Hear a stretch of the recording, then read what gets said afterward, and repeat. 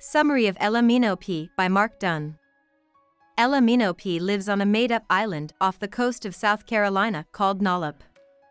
The island is named after Nevin Nollop, who is said to have written the pangram The Quick Brown Fox Jumps Over the Lazy Dog. The people of Nollop are proud of their large vocabulary and creative ways to use words. The story is told through a number of letters written to and from different people on the island. The letters start in July and end in November, just a few months later. When the book starts, Ella, who lives in the busy town of Nollopton, writes to her cousin Tossie, who lives in the quieter village of Nollopville, to tell her that something strange has happened. In the middle of Nollopton is a figure of Nollop. Each letter of the pangram is written on a tile at the base of the statue. The tile with the letter Z on it falls off the figure one day. The High Island Council, which is in charge of running the island, thinks this is a sign from Nollop in the afterlife that people shouldn't use the letter Z in speech or writing anymore. They decide that the first offense will lead to a verbal warning, the second to a choice between being flogged or getting a headstock, and the third to being kicked off the island. Ella decides to be careful and follow the rules for now, but Tossie is angered by Ella's answer and points out that books are already being taken out of the library. Ella knows that not being able to use the letter Z is a problem because they can't write correctly about this event in the history books without using the letter. In the days after the Z ban, people in Nollop quickly get their first and second charges. When friends turn each other in, they keep old grudges and grievances alive, which makes people afraid of each other. One young man named Willie Creevy is kicked out after breaking the rules three times. Soon, a second letter falls. It is the letter Q, which is quickly banned. People start to rebel, and one family, the Rasmussens, wears cartoon masks and quacks at an open council meeting to show their disapproval. The whole family, including two nine-year-old girls, is flogged in public while the rest of the town sees and does nothing. After this happens, Ella and her family start holding meetings for the underground opposition. Mitty, Toss's mother and a math teacher, gets in trouble for the first time for using the word dozen in class. One of her children, Timmy, tells his mother, Georgian Togate. Georgian then tells the police about Mitty's wrongdoing. As the weeks go by, an American researcher named Nate Warren writes to Tossie and Mitty and asks to stay in their home and meet with the council.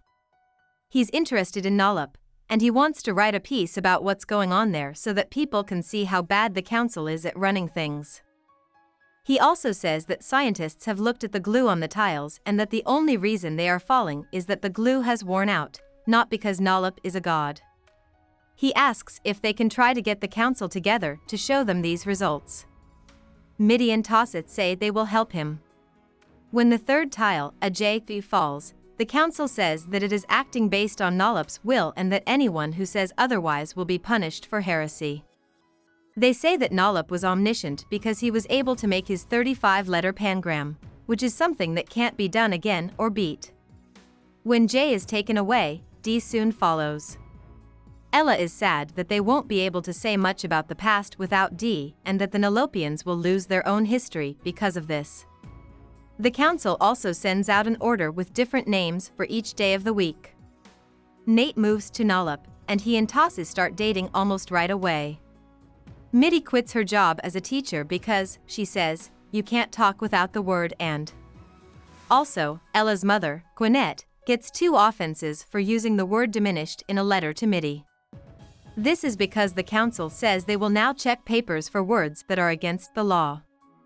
Also, the US stops trading with Nollop, which makes things hard for Ella's dad, Amos, who ships jugs of moonshine.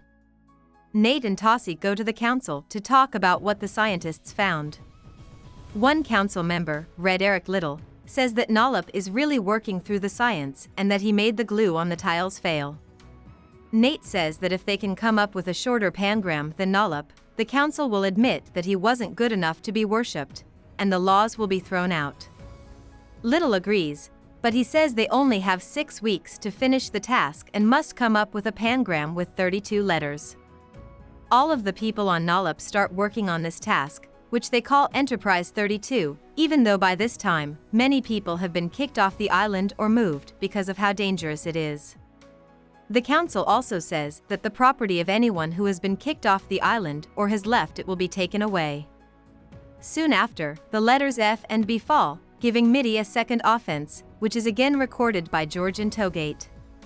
The Law Enforcement Brigade, LEB, also starts to look for illegal letters by searching people's homes. Professor Mannheim comes up with the smallest pangram so far, which has 44 letters. Also, Tossie starts sending threats to the council from an unknown source. Then, Georgian Togate writes to Mitty and asks her for help. Children under the age of 8 are not required to follow the laws, but the school says that her son Timmy turned 8 before she thought he would, so he has officially been breaking the law. Mitty tries to help Georgian by looking for proof that Timmy is still 7, but she can't find anything. Timmy is kicked off Nollop, but Georgian stays there. Soon after, the government puts Tossie in the care of the LEB because they think she was the one who made the mysterious threats. Ella's father, Amos, also gets a third offense, and in his goodbye letter, he asks Ella and her mother to do him a favor pack my box with five dozen liquor jugs?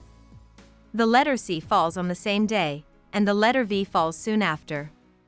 Nate saves Tossa from the prison on the island, and the two of them flee to the US with Mitty. Gwinnett makes a third mistake, so she is also sent away, leaving Ella on Nollop all by herself. When Georgian comes to Ella's door looking for Mitty, she wants to know if her sister has moved in with her. Ella meets her and invites her to stay for a while. Ella also meets Tanya, a woman who is one of the few people left on Nollop, along with Professor Mannheim and his helper Tom. Together, they are working on Enterprise 32, and they find a 43-letter pangram. With 11 days left in the challenge, the letter U is the first vowel to be taken off the list. The council then makes a rule that people can use letters to stand in for other people, but they must do it in writing. Soon after, the letter X falls.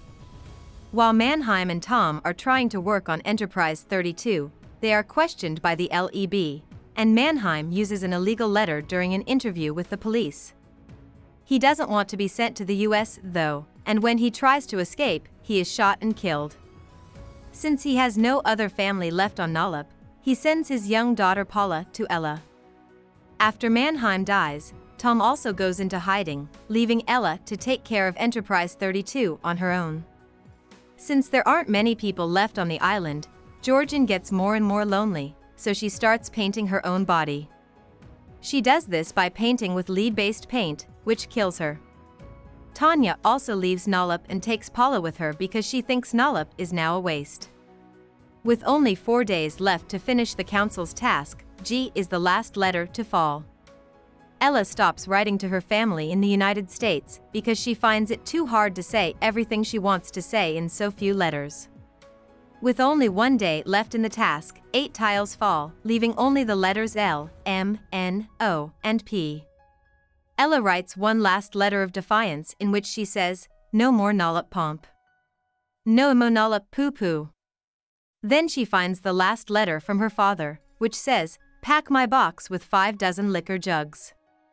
Ella sees that this statement is a 32-letter pangram by accident. When Ella sends Little this sentence, the laws are quickly thrown out, and everyone on the council except Little quits. Tom is able to come out of hiding and destroy the figure of Nollop with Ella's help. Ella wants them to put up a sculpture of a big box full of 60 moonshine jugs in its place. She says, disorder to match the clutter and chaos of our marvelous language. About the author Mark Dunn was born in the Tennessee city of Memphis. He went to Memphis State University to study film and then went to the University of Texas to get an advanced degree in screenwriting. In 1987, he went to New York.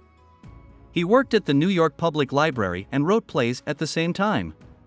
Since then, Dunn has written five books and more than 30 plays, including Bells and Five Tellers Dancing in the Rain. Dunn's first book, Ella Minnow Pea, came out in 2001. Dunn now lives in New Mexico's Santa Fe. Hope we summarized it fully and you liked it. Please hit the like button and subscribe to our channel so that we are motivated to create more videos.